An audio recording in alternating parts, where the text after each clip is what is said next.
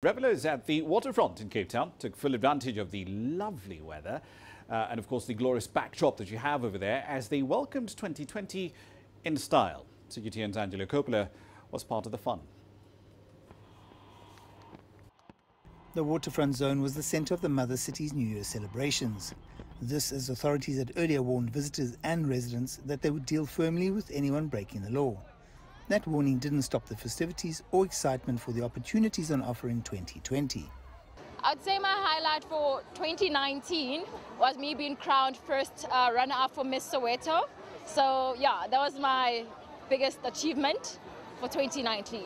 To be united, really. Um, I feel that our country needs unity, not only with our country, but with other African countries as well.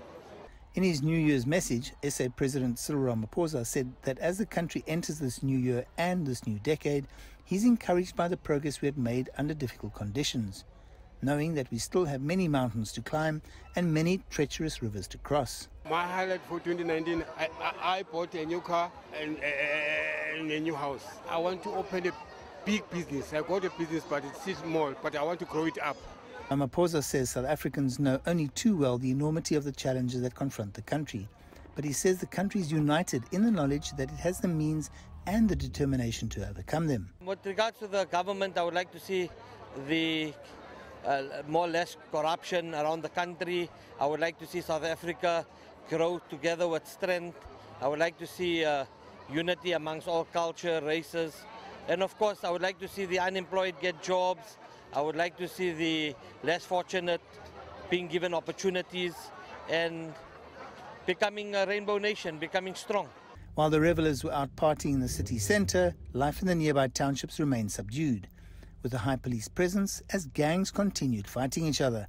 Hey, policeman, the corruption must not take place this one, yeah, because we saw many leaders were very corrupt in this 2019. It was a disgrace, but we see this 2020 that must not happen. We want the rape nation, where what we think for people that are, um, don't have nothing, which they are poor. So we need to think for those ones who have nothing at all. So at least now, whenever we vote in this 2020, we must see that there are the changes. There's no question that 2019 has been a tough year for most people in South Africa. And everyone's looking forward to 2020, hoping it's going to be better. More jobs, better security, improved economic growth. And of course, people want to be happy. I'm Angelo Coppola for CGTN on the waterfront in Cape Town, South Africa.